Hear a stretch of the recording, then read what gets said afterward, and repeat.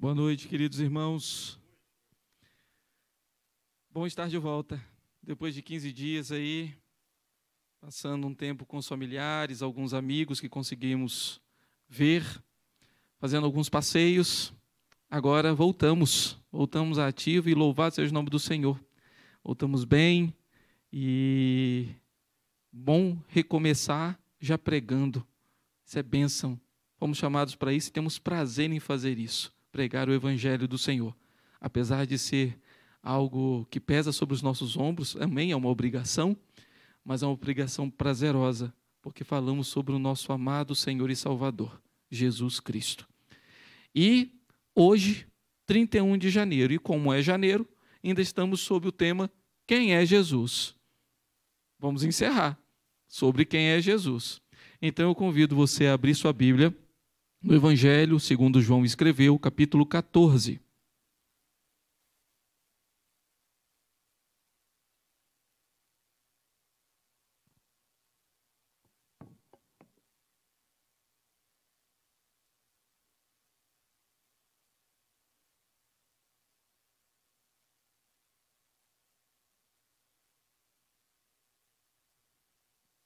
Um texto bem conhecido, eu convido você, mesmo assentado como você está, a ler comigo do verso 1 ao verso 6.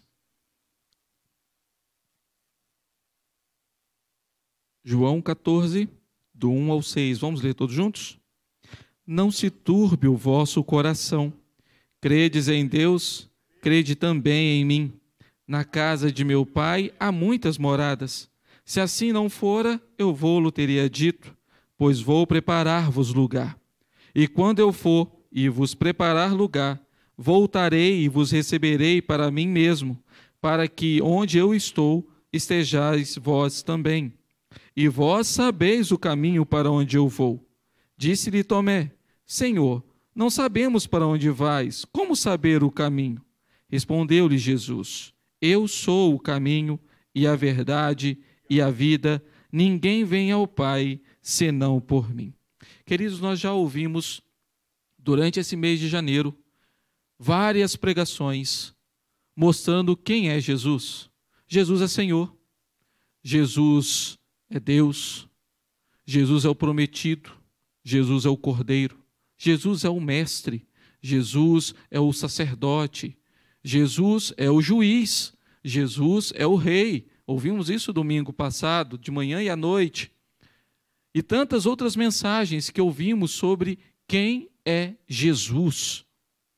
E é interessante, eu estava comentando isso com o pastor Fábio, que o Senhor Jesus se apresenta de várias formas aqui no Evangelho de João, e nenhuma delas foi abordada, para ver a abrangência de como a Escritura fala de quem é Jesus. Nesse texto especificamente, ele usa três figuras para mostrar quem ele é. Ele é o caminho, ele é a verdade, ele é a vida. E depois nós vamos ver mais algumas outras maneiras como ele se apresenta, que nós não vimos e não daria tempo, teríamos que fazer o ano todo pregando domingo, de manhã, de noite, quartas-feiras, e ainda faltaria possivelmente uh, adjetivos para dizer quem é Jesus nas Escrituras. Entretanto, Nesse mês nós encerramos, porque nos outros meses vamos trabalhar outras temáticas, sempre tendo a santidade ao Senhor como nosso tema anual. E agora o Senhor se apresenta. Quem é Jesus? Ele mesmo diz sobre ele mesmo. Ele vai se apresentar. E Jesus, aqui nesse texto especificamente, não, não aqui nesse texto, mas no, no, no seu contexto, ele está nos seus últimos momentos antes da sua prisão, crucificação e morte. Ah, ele está dando as suas últimas instruções aos seus discípulos. Ele faz, depois do, do, da ressurreição de Lázaro, ele começa mais alguns ensinamentos, ele dá algumas instruções, ele aponta para determinadas coisas que iam acontecer sobretudo a sua traição. Ele lava os pés dos seus discípulos, ensinando a humildade. Ele fala mais uma vez sobre a sua morte, sobre aquilo que aconteceria com ele. Ele fala sobre a, a, a, o que Pedro ia fazer, negando-o três vezes. Ele avisa tudo isso. E dá, dá para perceber que os discípulos sentem essa, esse tom de despedida. E eles ficam meio entristecidos, eles ficam macambúzios ali, sentindo o que, que ele está querendo dizer, parece que ele está se despedindo, o que está acontecendo, está indo para onde, por que, que a gente não pode acompanhar? Eles estão meio que entendendo sem compreender.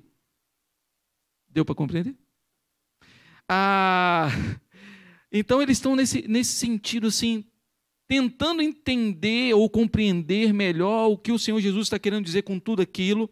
E agora, no texto que nós lemos, o Senhor Jesus traz conforto ao coração deles. Todo o capítulo 14, vocês forem ler, vocês vão perceber isso. O Senhor Jesus, não só o 14, 14, 15 e 16, são capítulos em que o Senhor Jesus está trazendo consolo ao coração dos seus discípulos, falando que ele enviaria o outro consolador, falando que ele para eles não se deixar o seu coração conturbado ou barulhento, porque ele estava indo para preparar lugar para os seus discípulos, é o que diz aqui, o texto que nós lemos, no capítulo 1 e 2. Ele vai falar que ele vai deixar a paz dele, no versículo 27 do capítulo 14. Então ele vai expor um consolo. Né? Ele lá no capítulo 16, a gente conhece muito bem, né? falando sobre a questão de que a, a quando ele fala é, deixa eu só ler aqui para poder não, ser, não, não, não me perder aqui. Essas coisas vos tenho dito para que tenhais paz em mim. No mundo passais aflições, mas tem de bom ânimo. Eu venci o mundo. São palavras de consolo aos seus discípulos. Entretanto, a gente percebe que os seus discípulos, mesmo caminhando três anos e meio aproximadamente com o Senhor Jesus, ainda não conseguiam entender completamente, totalmente, a missão do Senhor Jesus. Jesus consola. E como que o Senhor Jesus consola? Olha, observe o verso de número 1 e verso 2. Não se turbe o vosso coração, credes em Deus, crede também em mim. Da casa de meu pai há muitas moradas, se assim não fora, eu vou-lo teria dito, pois vou preparar-vos lugar. O Senhor Jesus os consola, mostrando que o céu é real. O céu não é como diz a música, se não me engano, do Engenheiros do Havaí, só uma promessa. Já ouviram essa música? Os mais experientes? Né? O céu é só uma promessa, eu tenho pressa, vamos nessa direção? Pois é, não, não é só uma promessa. O céu é um lugar, é real. Não sei se é do Engenheiro do Havaí, não. Estou falando aqui, mas é porque nunca ouvi muito, fui, nunca fui de ouvir muito esse tipo de, de música. Mas eu acredito que seja deles. Ah, e é para lá que todos, aqueles, que todos aqueles que creem no Senhor, e quando eu falo crer, não é simplesmente acreditar que ele veio, mas é segui-lo, é obedecê-lo, é entregar a sua vida a ele. Todos aqueles que fazem isso morarão eternamente. É para estes que o Senhor Jesus subiu para preparar lugar. Foi por isso que ele foi assunto aos céus, para entrar lá e preparar lugar para aqueles que creem no seu nome. Aqueles que creram nesse momento, naquele, naquele momento em que ele estava falando, e nós, hoje, que cremos no seu santo nome. Como ele também vai dizer isso lá no capítulo 17 de João, na sua oração sacerdotal. Isso é consolo. Esse é o consolo que ele está trazendo aos seus discípulos. Mesmo dizendo que eles sofreriam, mesmo dizendo que eles passariam por momentos difíceis, sempre tenham bom ânimo, porque eu estou indo preparar lugar para vocês. Esse aqui não é o lugar de vocês. Onde eu estou indo é o verdadeiro, a verdadeira pátria de vocês. Esse é o consolo do Senhor Jesus a eles aqui. Mas observemos, queridos, que agora, quando a gente segue e a gente chega no versículo 6, é interessante porque você já deve ter falado esse versículo várias vezes para pessoas talvez não crentes, não é verdade? Comumente nós usamos esse texto para evangelizar. Eu sou, Jesus disse, eu sou o caminho e a verdade, a vida, ninguém vem ao Pai senão por mim. Mas o Senhor Jesus não disse isso para pessoas não crentes. Ele disse isso para discípulos dele, que andavam com ele já há três anos e meio aproximadamente. Que não entendiam completamente ainda aquilo que o Senhor Jesus veio fazer. Observemos, queridos, isso. Não estou dizendo que essas palavras não possam ser ditas para, para, eh, para um momento de evangelismo. Devem ser também, mostrando que Jesus é o verdadeiro caminho. E depois nós vamos ver isso mais atidamente. Entretanto, isso nos mostra que nós, mesmo que andamos ou dizemos que andamos com o Senhor Jesus, sempre vimos ao culto, seja no domingo, na quarta-feira, reunião de oração, cultos assim é, das sociedades internas, da mocidade, da SAF, da UPA, nós ainda precisamos conhecer mais o Senhor Jesus. Ainda estamos aquém daquilo que realmente achamos, daquilo que nós achamos que conhecemos. A resposta aqui do Senhor Jesus a Tomé é uma resposta que deve abrir os nossos olhos para que nós possamos conhecer mais ao Senhor Jesus, conhecer quem verdadeiramente Ele é, para recebermos o consolo, a sua direção, a sua orientação. Ele disse aqui: Vós sabeis o caminho para onde eu vou. Os discípulos já tinham sido alertados, só que ainda não tinham compreendido completamente. Você entende isso? Você compreende as Escrituras? Você compreende o ensino das Escrituras? De maneira que você, quando lê, você recebe a instrução e você, pela iluminação do Santo Espírito, fala assim: é isso que o Senhor quer dizer para mim. Ou talvez você fique naquela coisa, não é melhor que outra pessoa diga. Essa questão de outra pessoa dizer não é de todo ruim. O problema é quem é essa outra pessoa que está te dizendo isso. Ela está dizendo isso de acordo com o que a Bíblia diz ou daquilo que ela entendeu, tendo em vista que a nossa mente também foi corrompida pelo pecado? A resposta de Jesus para Tomé começa com uma expressão: Eu sou. Respondeu-lhe Jesus: Eu sou. E aí, nós voltamos lá em Êxodo. Já limos, já limos alguns versículos do capítulo 1 limos alguns versículos do capítulo 2. E agora, no capítulo 3 de Êxodo, né, nós lemos ali os versos 23 em diante do capítulo 2, terminando o capítulo 2, mostrando que o Senhor ouviu o clamor dos seus filhos, os filhos de Israel, e ia providenciar o quê? A, o, a restauração daquela aflição. E como é que ele fez isso? No capítulo 3 ele vai mostrar ele chama Moisés. Ele aparece a Moisés numa sarça ardente. E ele, ele conversa com Moisés. E ele se apresenta a Moisés e ele fala o que ele quer de Moisés.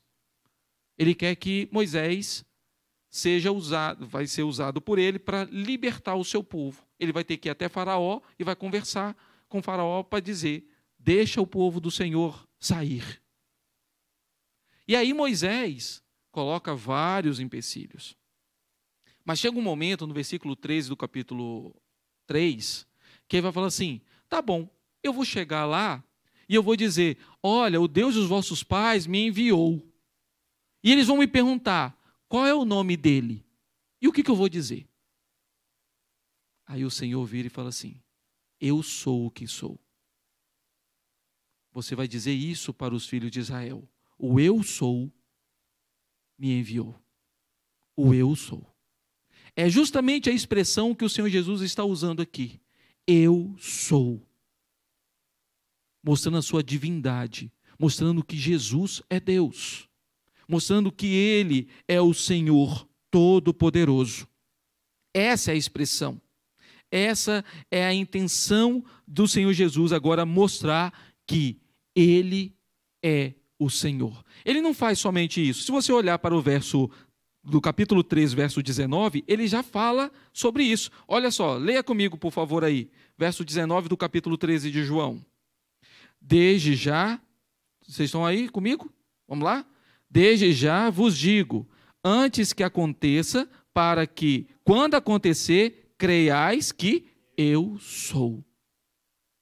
Ele já estava dizendo: o que aconteceria sobre a questão da sua traição, ele já estava dizendo sobre a questão sobre a sua prisão, sobre a sua crucificação, ele já estava avisando a Pedro que Pedro, Pedro o negaria, para quando acontecesse, ele fala assim: bem que Jesus avisou, realmente ele é Deus, ele conhece todas as coisas, ele sabe todas as coisas, verdadeiramente. Mas esse, queridos, não é o único momento em que Jesus usa essa expressão eu sou. Quando ele se encontra com aquela mulher samaritana lá perto do poço, ele a, a mulher se apresenta e fala assim: Eu sei que virá o Messias. E ele fala assim: Eu o sou. Ele é o Messias. Verso 26 do capítulo 4. No verso no, no, em João capítulo 6, verso 35, ele vai, ele vai mostrar que eu sou o pão da vida. No capítulo 8, no verso 12, ele vai dizer: Eu sou a luz do mundo. No capítulo 10, no verso 9, ele vai dizer: Eu sou a porta. No versículo, no capítulo 10, no versículo 11, ele vai dizer: Eu sou o bom pastor. No capítulo 11, verso 25, ele vai dizer: Eu sou a ressurreição e a vida. No capítulo 15, no verso 1, ele vai dizer: Eu sou a videira. Olha quantas, quantos adjetivos. Como conhecer o Senhor Jesus. Nós nem falamos sobre esses. Quantas coisas poderíamos explorar? Você lembrava disso? De todas essas coisas que o Senhor Jesus falou sobre ele? O Senhor Jesus é o eu sou. O grande eu sou. Agora, o eu sou se apresenta aqui no nosso texto, no verso 6, em três figuras. Eu gostaria de rapidamente observá-las juntamente com os irmãos. Primeira, ele diz: Disse-lhe, respondeu-lhe Jesus: Eu sou o caminho. Ele é o único caminho para o céu. Ele é o único caminho para o céu. Você já deve ter ouvido aquela frase, né? Que todo caminho leva a Deus. É uma frase meio mentirosa, Todo caminho leva a Deus? É, poderíamos até dizer que sim. Só que somente um para a salvação, os outros é para juízo. Todo caminho leva a Deus para a salvação? Não. Só há um caminho para a salvação, para o céu. E esse é o Senhor Jesus. É por isso que ele diz: Eu sou o caminho. O artigo aqui é bem definido: o caminho. Ele não fala, eu sou um dos caminhos. Ele fala especificamente: Eu sou o caminho. Isso joga por terra, queridos, nossas pretensões de alcançar o céu pelos nossos próprios esforços. Já falamos isso várias vezes aqui. Não somente nas mensagens sobre quem é Jesus, mas em outras mensagens, falando sobre a graça, falando sobre a justificação. Pregamos isso ano passado, nas quartas-feiras também. Falamos sobre isso várias vezes. Esse texto joga por terra toda a nossa pretensão de achar que nós conseguimos alguma coisa pelos nossos esforços. Sabe aquela coisa que você faz, assim, ah, coloquei mais um tijolinho na minha, na, minha, na minha morada celestial. Você não fez nada, o Senhor Jesus fez por você. A única coisa que nós fazemos é em resposta, em gratidão, por gratidão aquilo que Ele já fez por nós. A nossa morada foi garantida por causa de Jesus e do que ele fez, porque ele é o caminho. Agora, tem muitas pessoas que acreditam que por conta do que pega o caminho da religiosidade e acha que pelo seu caminho da religiosidade ela vai, vai alcançar alguma coisa.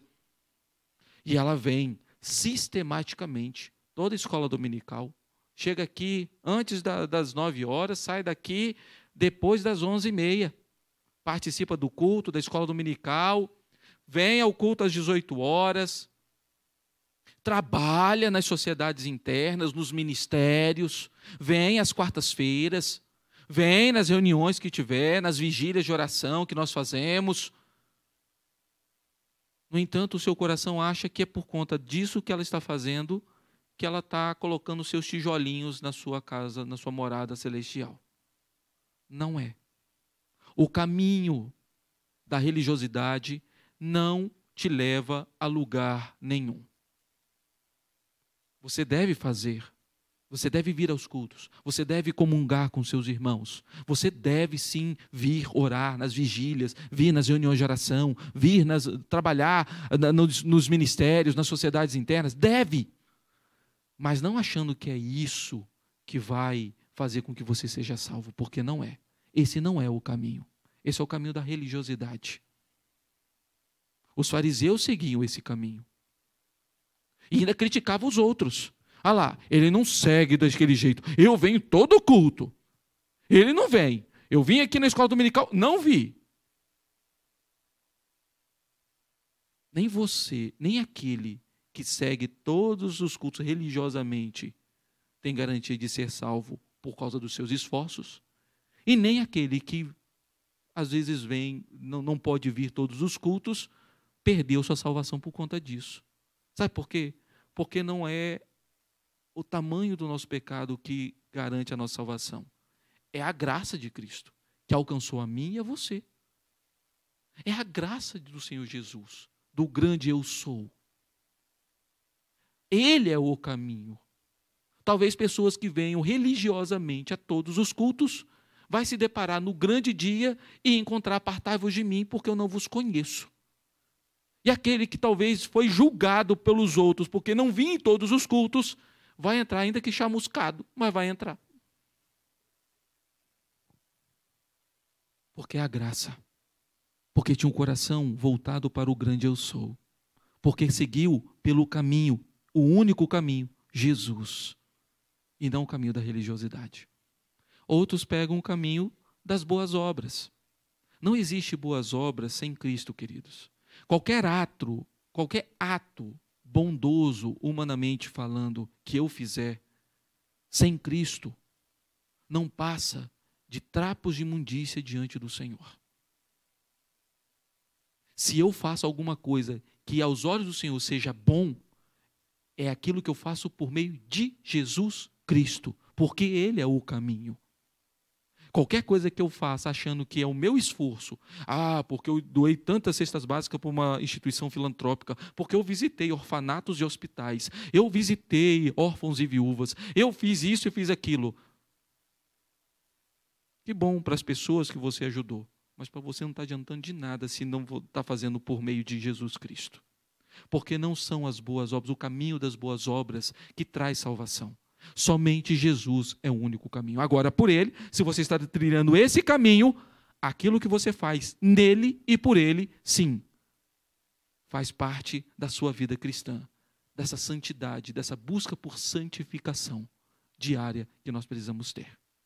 Alguns, queridos, acreditam que o caminho da ignorância é um meio de salvação porque acha que é injusto. Ah, não, mas se aquela pessoa nunca ouviu falar de Jesus, ela morreu, é injusto ela ir para o inferno.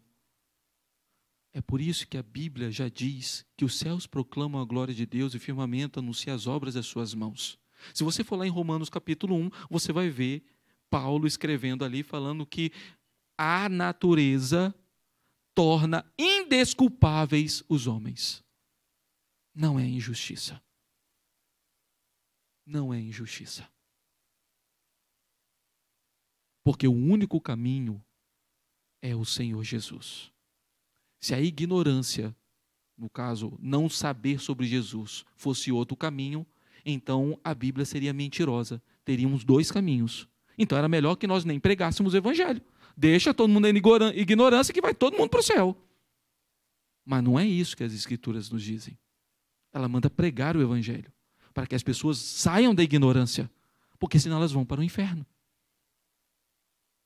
Não creia nessa questão de que porque a pessoa não sabia, nunca ouviu falar de Jesus, ela foi para o céu por conta disso. Porque senão você vai, vai, vai incluir um segundo caminho que não existe nas Escrituras. Jesus é o caminho. E ele fala enfaticamente no, no final do versículo 6: Ninguém vem ao Pai senão por mim. Ninguém. Jesus é o caminho. Mas ele também se mostra numa outra figura, dizendo que ele é a verdade.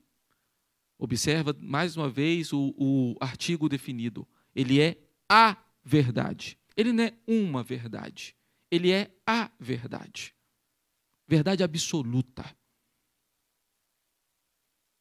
Nós vivemos, queridos, num pluralismo de verdades. Cada um quer ter a sua verdade e assim cria-se um relativismo. Essa é a sua verdade, a minha verdade é diferente. Não existe isso na vida cristã. Nós seguimos a verdade. E essa verdade é absoluta. E ela tem nome. Ela se chama Jesus. Jesus é a verdade. As mentiras que nós acreditamos como se fossem verdades, na realidade, no final das contas, são fruto da, ou da ignorância ou da ganância. Como assim?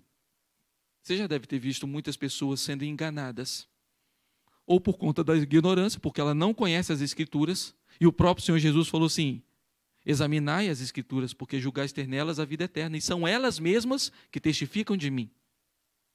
Então, se você quer conhecer o Senhor Jesus, não tem outro jeito que não seja conhecer as Escrituras. Não tem como conhecer o Senhor Jesus sem conhecer as Escrituras. Você precisa conhecer as Escrituras. Mas talvez você não conheça as Escrituras, talvez nós não conheçamos da maneira como deveríamos conhecer.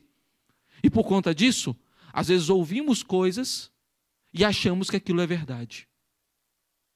Quantas pessoas caem em heresias, seguem grupos heréticos, porque são ignorantes quanto ao conhecimento de quem é Jesus porque não conhecem a verdade. Ou a ganância. Até sabem, mas a ganância fala mais alto. Eu falo, queridos, que muitas pessoas que às vezes estão junto nesses grupos que prometem coisas, prometem milagres, prometem um monte de coisa, estão lá, não é por conta, promete que vai ficar rico, não estão lá porque é, são totalmente ignorantes. Estão lá porque são gananciosos. Não são depois ficam lá, ah, porque o pastor da igreja tal me enganou. Não, ele foi enganado pela sua própria cobiça. Que diz Tiago, né? Tiago, capítulo 1, vai dizer isso, que nós somos tentados pela nossa própria cobiça. Você cobiçou ser rico, você cobiçou milagre em cima de milagre, e o que você alcançou foi ser enganado. Você foi enganado pelas outras pessoas porque primeiro você foi enganado pelo seu coração, que é enganoso e corrupto, desesperadamente mais do que todas as coisas. Muitas vezes nós sabemos a verdade, mas a ganância nos leva a seguir coisas e abrir mão de princípios que aprendemos, mas o desejo do pecado fala mais alto. Devemos tomar cuidado com isso, para não abrirmos mão da verdade. E essa verdade tem nome. Ela se chama Jesus. Jesus é a verdade que liberta. João 8, 20, 32 vai dizer isso. E conhecereis a verdade, e a verdade vos libertará. Verso 36 ele vai repetir, dizendo: Se, pois, o Filho vos libertar, verdadeiramente sereis livres. Jesus é a verdade que liberta. Jesus é a verdade que ilumina os nossos passos. É a verdade que ilumina os nossos passos. Lá em 1 João,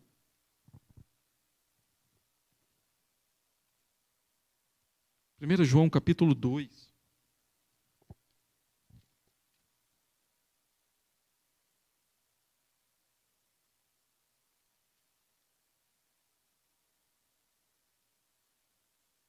Diz assim o verso 4: Aquele que diz, Eu o conheço, e não guarda os seus mandamentos, é mentiroso, e nele não está a verdade. Dizer que o conhece, mas não o segue, não segue esse caminho, é mentiroso. Não está a verdade nele, porque se ele andasse no caminho, os seus passos seriam iluminados para que ele pudesse continuar nesse caminho. E aí voltamos às Escrituras, porque a própria Escritura nos diz, lá no Salmo 119, 105, lâmpada para os meus pés é a tua palavra e luz para os meus caminhos. Jesus é a verdade que ilumina os nossos passos para nós não desviarmos do caminho. Jesus é a verdade absoluta que dá firmeza à nossa fé. A nossa fé, como diz Soren Kierkegaard, ele diz que a fé é um salto no escuro. Nós não cremos nisso. A fé é certeza e convicção, como diz a Bíblia em Hebreus capítulo 1. E certeza e convicção não é salto no escuro, é saber onde nós pisamos e é terra firme. Jesus é a verdade que faz com que pisemos em terra firme e isso dá firmeza à nossa fé. Essa é a verdade que nós seguimos, verdade absoluta, concreta, que ilumina, que liberta. Jesus também se apresenta aqui na figura da vida. Jesus é o caminho, é a verdade e é a vida. Ele é o autor da vida. Nele nós temos não somente a vida física, mas também temos a certeza da vida eterna. Porque é o Senhor quem nos dá a vida. Foi o Senhor lá no Éden que soprou nas nossas narinas o sopro de, de, de vida. Ele é o autor da vida, porque lá em Colossenses fala que tudo foi criado por ele e sem ele nada do que foi feito se fez. Então, é o Senhor quem é o autor da vida. O Senhor é o autor da vida. O 1 João, no capítulo 1, vai dizer que a vida estava entre nós. Nós apalpamos, nós pegamos, nós cheiramos, nós sentimos Ele. Sem Jesus, queridos, nós somos como zumbis. Já viram aquele. Tem um seriado famoso aí, The Walking Dead, né? Ah, que mostra aquele monte de zumbis Alguns são até bem feitos, outros você vê que é uma máscara feia pra caramba. Ah, nós somos como aquelas pessoas se, se, estamos sem Cristo. Quando andávamos sem Cristo, éramos como, éramos como aqueles zumbis. Mortos-vivos. Andando segundo o rumo do nosso coração pecaminoso. Alimentando os nossos desejos pecaminosos. Vivos fisicamente, mortos espiritualmente. Eras, éramos assim. Éramos filhos da ira. Éramos inimigos de Deus. Éramos zumbis. Éramos. Sem nenhuma perspectiva. Andando sem rumo. Alimentando o nosso desejo pecaminoso. É assim que nós éramos. Mas com Cristo, tudo isso muda. Em Cristo nós temos nova vida. Somos feitos novas criaturas. Em Cristo nós temos tudo o que nos é necessário. Lembra de Paulo escrevendo aos Filipenses? E ele fala: tanto você estar humilhado quanto você estar exaltado. Se eu estiver na escassez ou se eu estiver na fartura, tudo posso naquele que me fortalece. Eu tenho tudo do que eu preciso, porque o Senhor me sustenta. Se eu não tiver nada, é para eu não ter nada. Eu tenho Cristo e isso me basta. Quando ele ora pedindo ao Senhor para tirar o espinho na carne, lá na, no capítulo 12 de, da segunda carta aos Coríntios, ele vai falar isso. Orei, pedi três vezes, o Senhor falou: Não, a minha graça te basta. E aí ele falou assim: Então eu me glorio na minha fraqueza. Porque quando sou fraco é que sou forte. Porque eu estou com Cristo. Mesmo com dores, mas eu estou com Cristo. Cristo é tudo que nós precisamos e Ele nos dá tudo que nós necessitamos. Ele nos, dá, não nos dá aquilo que nós queremos, Ele nos dá aquilo que nós necessitamos, aquilo que é bom para a nossa vida. Não a vida especificamente, a vida física, trabalho, não somente isso, isso também são bênçãos do Senhor, mas, sobretudo, para que andemos na luz, no caminho, para que tenhamos vida e vida abundante, a vida eterna. Jesus nos dá a direção. Jesus nos dá uma nova perspectiva. Com Cristo nós temos uma nova perspectiva. É assim que você vive. É nesse Senhor Jesus que você crê. É nesse caminho que você tem trilhado. É nessa verdade que você tem firmado os seus passos. É nessa vida e com essa vida que você tem servido e amado o Senhor Jesus. Ele é o caminho, Ele é a verdade, Ele é a vida. Não há outro nome que nos traga salvação que não seja o nome do Senhor Jesus.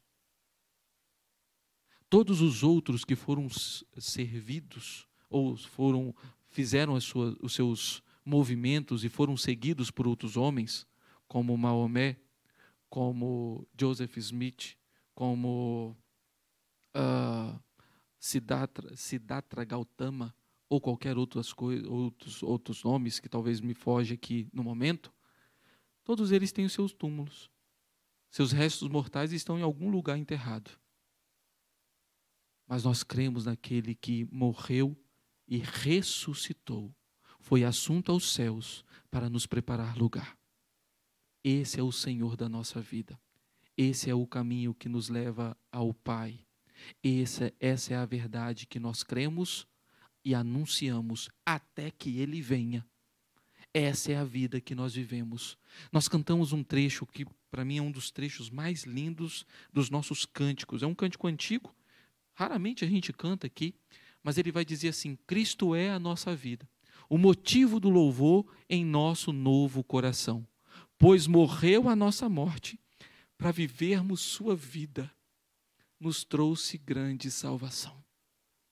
É essa a perspectiva que nós temos em Cristo.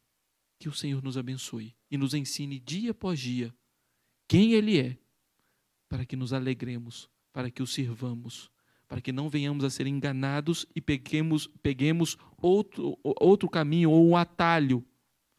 Porque não existe atalhos para o céu, só existe um caminho, e esse se chama Jesus. Que o Senhor nos abençoe. Que o Senhor faça-nos crescer na graça e no conhecimento dele, para a glória dele. Vamos colocar de pé?